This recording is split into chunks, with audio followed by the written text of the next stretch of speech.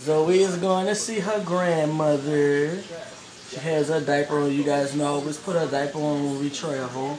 Zoe, say hello, you guys. Hello, you guys.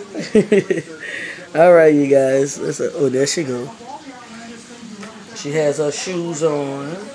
She is such a princess. And this is her bag. Bringing all her stuff with her. Every time we travel. This is Zoe room, by the way. Look at her.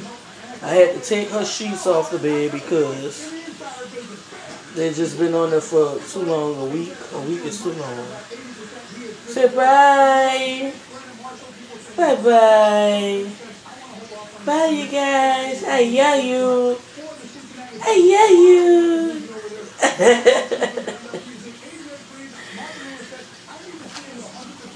Look how cute she look. Oh. She didn't.